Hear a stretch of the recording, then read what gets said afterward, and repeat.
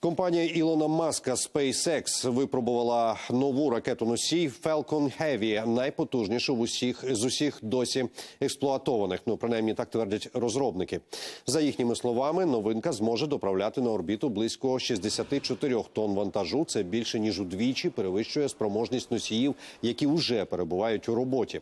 Під час тесту випробували 27 двигунів ракети. А запустити її в космос планують вже незабаром.